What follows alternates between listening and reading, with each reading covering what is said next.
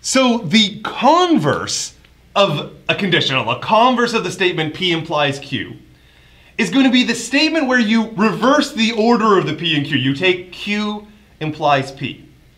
And the most important thing to note from here is that this is not logically equivalent.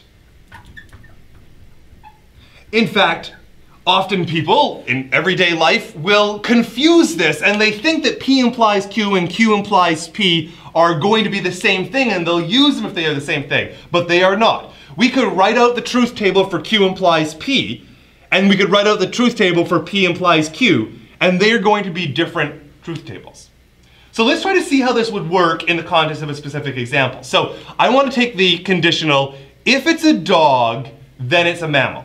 So we have here our p value, this is our p if it's a dog, and we have here our q, that's gonna be, it's a mammal. And what we have is p implies q for the top. Now, if I'm going to take the converse of it, we're going to keep the same sort of if-then structure, but what we're gonna be doing is we're gonna be taking the it's a dog and it's a mammal part, and we're gonna be reversing them. So if it's a mammal, then it's a dog. This is gonna be the statement Q is gonna imply P. And of course, we think the first of these statements is going to be true. If it's a dog, then it's a mammal. That's just bought in by what is the properties of a dog. One of the properties of a dog is that it's going to be a mammal. A dog is a, a special case of being a mammal. But this statement down here, if it's a mammal, then it's a dog. This is, of course, false. All kind of mammals that are not going to be dogs.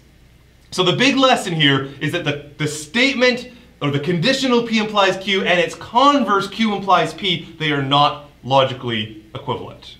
Another statement that we can make related to our initial conditional is something called the inverse. And so we're going to say that the inverse of P implies Q is the statement not P implies not Q. Now, this is kind of like taking the contrapositive of the converse. Why? Well, we know that for P implies Q, we know that this is going to be logically equivalent to not Q implies not P.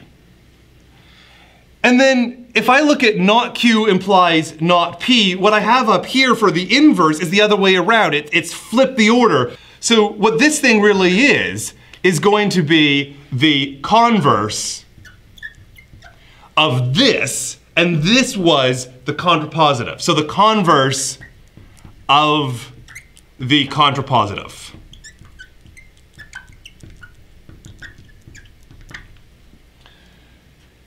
So, which is therefore thing, since the contrapositive does not change the logic, right? The, the statement and its contrapositive are logically equivalent.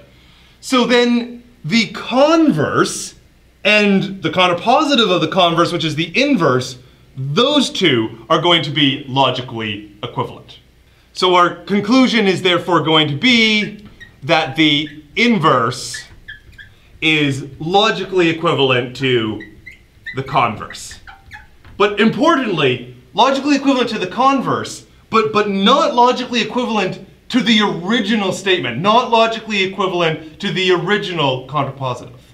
So returning to our familiar example, if it's a dog, then it's going to be a mammal. This is the one that has the form P, if it's a dog, implies Q, which is it's a mammal.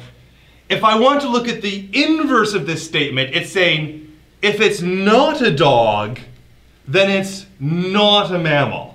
And so our sentence becomes if it's not a dog, then it's not a mammal. This is going to have the structure not P implies not Q. And indeed, if I try to reason my way through this sentence, okay, so if it's not a dog, then it's not a mammal. Well, what about a cat? A cat satisfies the property as not being a dog, but this conclusion is then false because a cat is a mammal. So a cat has the property that the condition is true, it's not a dog, but that the conclusion is false. So this statement here is going to be false, and this statement here is going to be true. And so we get that the inverse and the original statement are not logically equivalent.